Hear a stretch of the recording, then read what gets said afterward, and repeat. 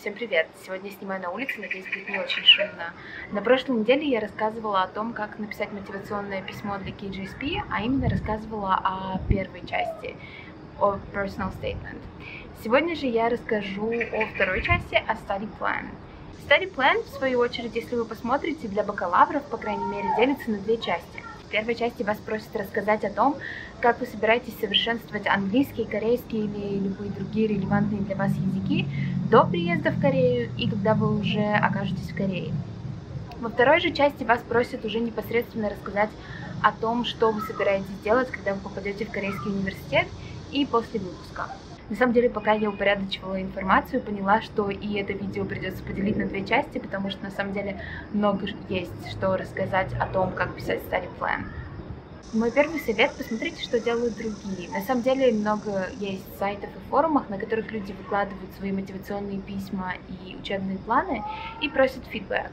Я бы посоветовала вам посетить такие сайты. Один из них, например, essayforum.com. Я оставлю ссылку внизу, на котором я нашла достаточное количество писем и учебных планов. Мне кажется, это всегда полезно посмотреть на то, что пишут другие, вдохновиться, но есть тут два момента. В принципе, эти письма не идеальные. Поэтому, если ваше мнение отличается, если вам кажется, что вы бы по-другому написали, что там не очень удачное, возможно, так и есть. И второй момент, наверное, о котором я хотела сказать, не пытайтесь копировать чужую работу. Это, честно говоря, это не принесет никаких бенефитов вам. Тот человек рассказывает о себе, о своей жизни, а, ваша жизнь и ваш бэкграунд, ваши планы, наверное, очень отличаются от того, что написал кто-то в интернете, поэтому не пытайтесь копировать. Можно посмотреть, можно посмотреть на структуру, можно вдохновиться, а можно посмотреть на какие-то слабые или сильные стороны. Если вы пойдете на один из таких сайтов и будете смотреть там на чужие работы, обратите внимание не только на сами эссе, посмотрите еще и на критику, да, на комментарии, потому что многие из них достаточно продуктивны. Но даже когда вы смотрите на критику, воспринимайте это критически. Просто помните, что все, кто делится советами в интернете, даже такие люди, как я, они не являются истиной в последней инстанции. Если вы чувствуете, что вы должны как-то писать по-другому, не так, как рекомендует кто-то онлайн, то пишите, потому что это ваша история, и кто как не вы знает, как лучше ее рассказать и кстати, еще для тех, кто пишет а, свои мотивационные письма, учебные планы на корейском, я оставлю ссылки от а, университета Ханьян, где они показывают как раз-таки примеры успешных а, мотивационных писем и а, учебных планов. А следующий совет – начинайте работать уже сейчас. Вас не зря спрашивают о том, как вы собираетесь совершенствовать языки, находясь еще дома.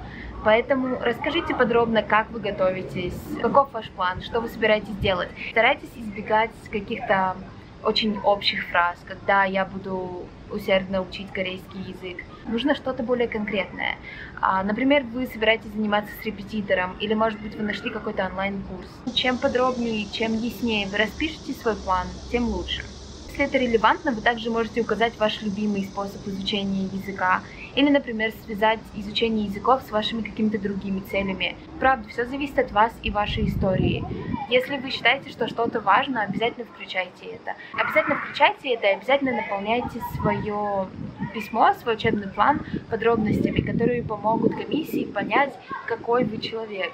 Эти примеры подходят тем, например, кто только начинает учить язык, да, то есть если, например, у вас нет еще знания корейского, то вы можете написать, что вы уже начинаете учить алфавит, уже какую-то базовую грамматику осваиваете и так далее. Но что же делать тем людям, у которых уже хорошее знание языка? Что им писать? Здесь я обратила внимание на одну ошибку, которую совершают достаточно многие люди, когда я просматривала как раз-таки чужие uh, study plans. Например, я видела письмо, в котором человек пишет, я учу английский с первого класса, поэтому я не считаю, что английский вообще, мне о нем нужно думать.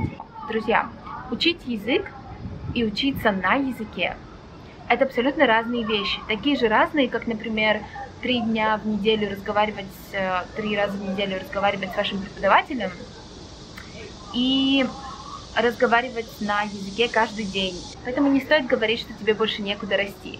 Расти всегда есть куда. А что же тогда делать и что писать в этой части Study Plan? Для нас важны, очень важны здесь две сферы, по крайней мере, как для KGSP кандидатов. Две сферы применения языка. Первая – это повседневное общение. Вторая сфера – это академическая сфера. И это касается как английского, так и корейского. Подумайте о том, что вы можете сказать в каждой сфере. Например, в том, что касается разговорной речи и повседневного общения, да, если мы говорим об английском, то напишите о том, как вы улучшите свою разговорную речь, общаясь со своими одноклассниками из языкового института, когда вы уже окажетесь в Корее. Либо, например, вы можете ходить на какие-то language exchange встречи. В том же, что касается корейского, большинство людей пишут, что когда они приедут в Корею, они найдут себе друзей корейских и будут с ними практиковать язык. И это на самом деле вполне логично, потому что, ну, вы едете в страну, где все говорят на этом языке. Но вы же представляете, что 9 человек из 10 напишут о том, что они найдут себе друзей. Поэтому распишите более детально, как вы их найдете. Может быть, вы, например, пойдете в своем университете, найдете кафедру русского языка и найдете там корейцев, которые учат русский язык, и будете устраивать с ними языковой обмен.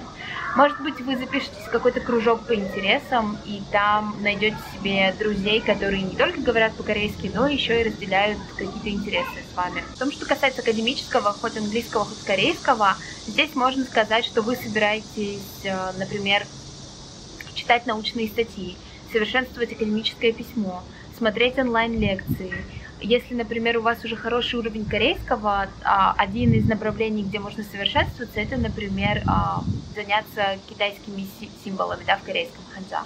Такие вещи, они вроде бы достаточно простые, но в то же время они показывают, что вы понимаете, что вам еще есть куда расти, и вы готовы над этим работать. И последнее, о чем я хотела упомянуть, это очень очевидный совет, но лейте меньше воды. При написании плана будьте как можно более конкретны, и прежде чем что-то написать, задайте себе вопрос – Говорит ли это что-то, информация что-то обо мне, как о кандидате, да? Рисует ли это как мой портрет? Или это просто какая-то такая абсолютно шаблонная информация, которую каждый там третий кандидат напишет? Кроме того, когда вы пишете план, четко обозначьте временные рамки, как собираетесь учиться, что вы собираетесь учить, да? То есть я сейчас говорю про языки только, я расскажу еще позже про а, ваш уже непосредственно старый план для университета.